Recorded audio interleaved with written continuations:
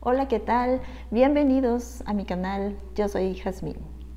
Gracias por estar aquí. Gracias de verdad por todo el apoyo que le han dado a este canal que fue creado por mí con mucho cariño para todos ustedes. Bueno, seguimos aquí subiendo videos. Ya saben que tenemos muchos videos rezagados del año pasado que estuvieron ahí, este, que estuvieron ahí esperando a que los grabara, pero como había tenido mucho trabajo, no los había podido grabar.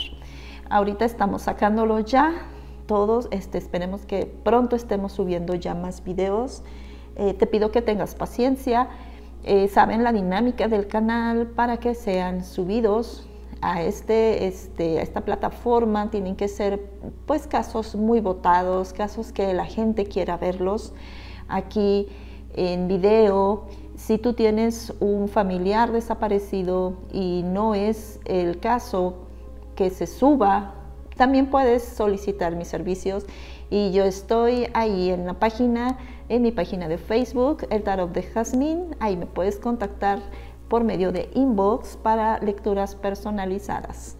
Bien, hoy vamos a hacer un caso que ya sabemos muchos, este, lo que pasó, ya más o menos nos damos una idea, pero también fue un caso que me pidieron muchísimo y entonces lo vamos a subir. Es una niña que ya sabemos que ella ya está muerta, pero también este, fue un caso muy votado. He visto otras personas tarotistas que han subido este canal también, mire sus videos para ver este, su trabajo. Eh, bueno, yo respeto el trabajo de cada quien y ver de qué manera abordaron el tema. Es un tema difícil y bueno, pues vamos a hacerlo porque yo hago los videos que ustedes quieran ver en mi canal. Ella se llama Paulette Guevara Farra. Ella nace el 20 de julio del 2005 y fallece un 22 de marzo del 2010 en el Estado de México. Es un caso muy sonado.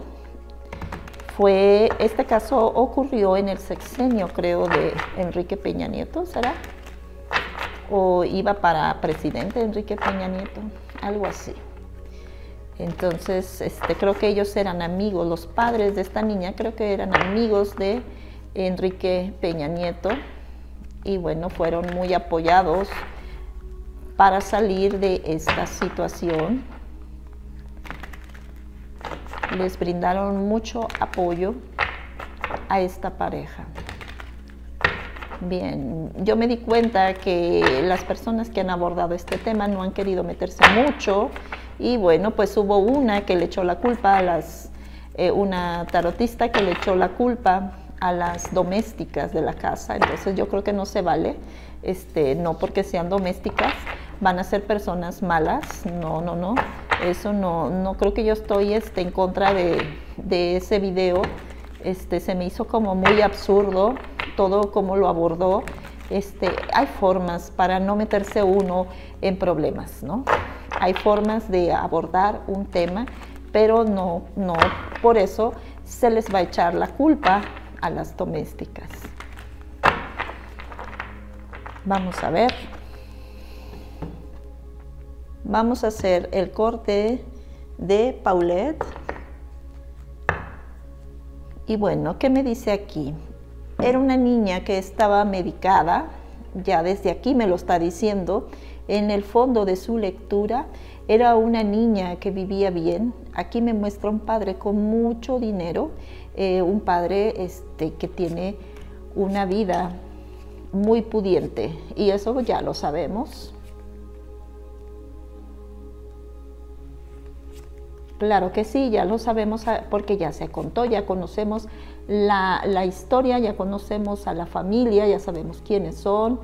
Entonces aquí solamente me lo está confirmando el tarot y ya saben que a mí, a mí me gusta así, que me lo confirme, que me lo platique de nuevo. Este, hay gente que luego me pone comentarios que dice lo mismo que dice afuera, entonces, bueno, yo las invito a que se fijen primero que mi canal es únicamente para saber si están vivos o muertos las personas. En este caso, mm, estoy abordando un tema que ya sabemos que sí está muerta la niña, pero vamos a ver qué detalles nos da porque fue un caso muy votado.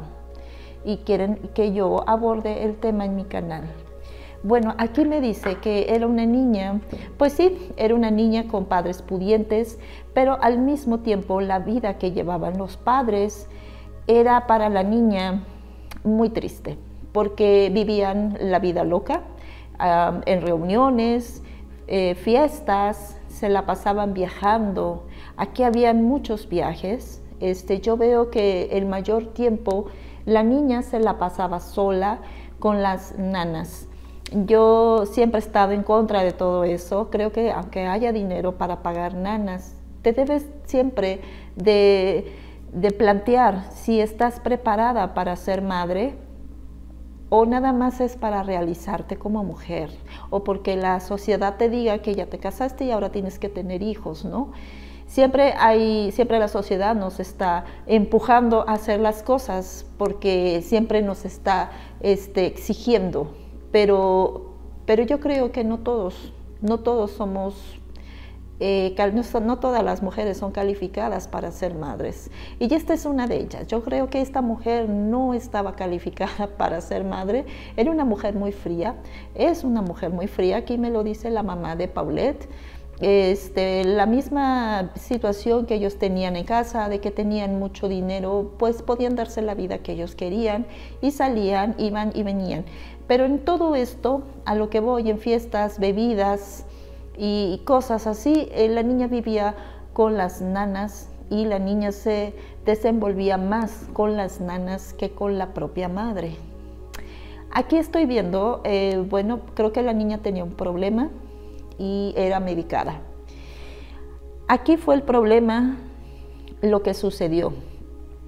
Eh, yo aquí no veo culpables a las domésticas, lo voy a decir. Las domésticas no tienen nada que ver en lo que pasó en esta casa. Yo veo que aquí fue un pasón de medicamento. ¿Por qué? Porque cuando lo hace, lo hizo una mujer. Habían dos mujeres en la casa, no había más mujeres en la casa, como en otros eh, videos que vi, eh, no, aquí yo nada más veo dos mujeres, es, y es una la que lleva a la niña a la cama y le da el medicamento, pero yo veo que tenía como pensado eh, salir o había como una reunión o una fiesta y se desesperó y le dio el pasón ahí de medicamento. Este, veo que la niña no sufrió, la niña no murió asfixiada, la niña no tuvo ningún tipo de muerte violenta. Cuando a la niña le dan ese pasón, la niña se va como en un viaje, me dice un vuelo. Y en ese vuelo eh, es muy bonito como me lo explica aquí, porque en ese vuelo que entra la niña, por, el pasón que le dieron de medicamento, la niña es recibida por Dios. La niña está con Dios, la niña este, está bien. Yo la veo en la luz, veo un recibimiento de ángeles también hacia la niña. Este pasón fue lo que hizo que la niña muriera como dormida. Aquí cuando sucede esto, empiezan, empieza el problema en la casa se dan cuenta que la niña está muerta y no saben qué hacer. Este, creo que aquí les ganó el miedo. Aunque ellos tienen dinero, sabían que era una niña y iba a haber muchos problemas. Como que la madre iba a ser este, la principal responsable y sospechosa y la iban a hacer que pagar una condena en la cárcel o algo así, o iba a ser señalada. Ella lo que evitó eh, en toda esta situación es ser señalada. Ahora empieza aquí el problema en la casa, empiezan a echarse la culpa unos a otros y es aquí como empieza el miedo. Y el miedo es lo que hizo aquí que tomaran malas decisiones es como entran aquí amigos políticos y ya saben los políticos cómo arreglan las cosas. Entonces sacan a la niña de la casa y cuando ya está señalada la casa, cuando llegan los reporteros, cuando están todos mirando esa casa, es cuando les entra más miedo todavía, porque no saben supuestamente dónde está la niña.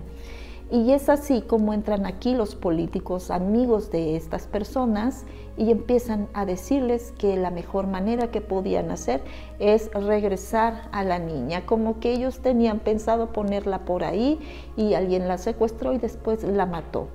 Este, es lo que yo veo aquí y bueno, es como regresan a la niña a la casa y la siembran en la cama. La niña nunca estuvo allí, la niña nunca, nunca se asfixió, es lo que me dice aquí, nunca se asfixió la niña, la niña fue sacada de la casa en lo que planeaban lo que iban a hacer, no fue algo intencional, no veo que esto haya sido así, simplemente se desesperó esta mujer y le dio el pasón de medicamento para que se, durmiera más rápido, porque veo que ella tenía que hacer otras cosas, como que iba a, un convivio o iba a salir con amigas o algo así, es lo que me dice la lectura. y es como estas personas, los políticos, toman una decisión de arreglarlo de esa manera, ya no ponerla por ahí en la calle este, y echarle la culpa a un supuesto secuestrador que le salieron malas cosas, sino que deciden regresar a la niña y es como nosotros pues nos damos cuenta que se va la luz y ya no hay grabaciones y es por eso que hicieron esa, este, ese como corto en la casa para tener el tiempo de meter a la niña y sembrarla. Esto es lo que pasó aquí. Ojalá pues ya pare este tema de, Paulette y, dejen descansar a la niña este, en paz. La niña está bien, está con Dios. Como yo les digo, fue una muerte bonita dentro de todo el ambiente hostil que tuvo la niña, que no fue recibida con amor. Este, los padres estaban ocupados en, en otras cosas y la niña vivió este, el, poco tiempo que vivió, la niña lo vivió con las nanas. Este, yo la veo bien, la veo con Dios, como les digo, la niña muere en un pasón, es un momento que se va y vuela, este, y en ese vuelo la recibe Dios y es como la niña muere. Bueno, mis amores, muchísimas gracias por estar aquí y yo ya regreso pronto.